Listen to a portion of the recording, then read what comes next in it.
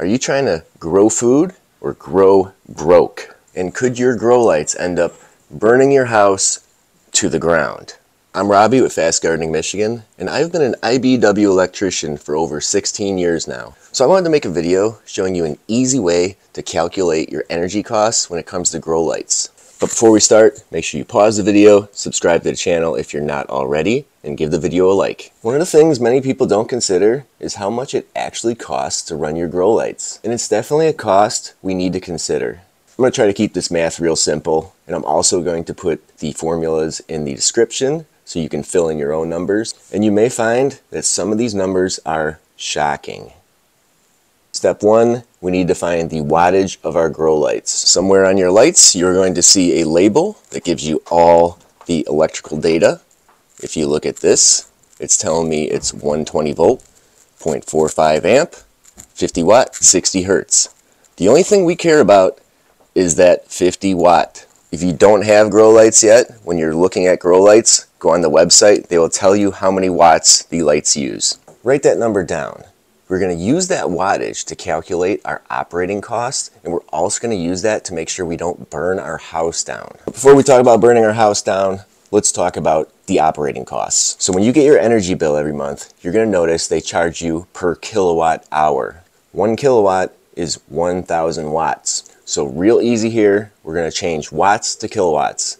For my lights, it was 50 watts. You take 50, divide it by 1,000, and these lights use 0.05 kilowatts. But whatever lights you're using, just take the wattage, divide it by a thousand, and there's your number.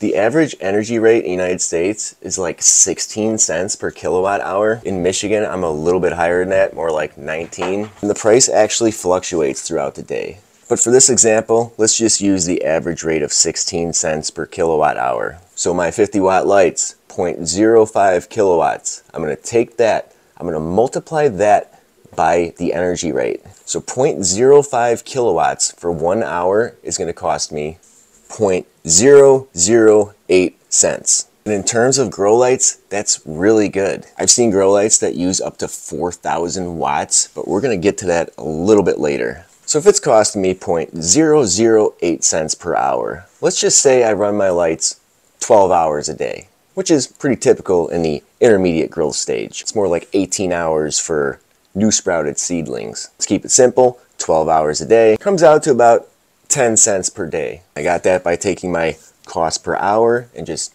multiplying it by 12. Still not too bad, 10 cents per day. Let's say we're growing something that takes about 90 days to grow to maturity. 10 cents a day for 90 days is 9 bucks. My 50 watt shop lights are a little thin, so I'll run two of those over to bigger plants. So 9 times 2 18. It's about 18 bucks for me to run them for 90 days. Here's where you can take your yields you get and divide it by your cost and see how much it costs you per pound to grow stuff. And the sad thing is, you're probably gonna figure it still costs you a lot more than just buying it at the store. Even though it's a lot more fun to grow it yourself, right?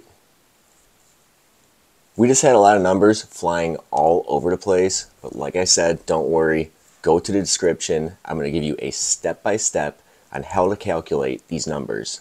If you're in the market for grow lights, make sure you are getting LEDs. LEDs are the new standard for lighting everywhere. CFLs are old news. Don't listen to the HPS folks. That is dinosaur technology created by the devil himself. But what if you're growing something like the mature audience plant and you go out and buy one of these high wattage lights that everybody recommends for them? This kind of ties into the part about burning your house down. So what if you went out and got some 3000 watt grow light, how much would that cost you? And more importantly, how many amps is that going to pull? When you take those operating costs and also factor in the cost of the seeds for mature audience plant, that turns into a lot of money. But there's something here that concerns me a little more than the money. It's the amount of amperage it takes to run a 3000 watt grow light. So watts equals volts times amps. Take 3000 watts, divide it by 120 volt, and you get 25 amps. Let's take a look at the old electrical panel over here. We have a lot of breakers that are at 15 and 20.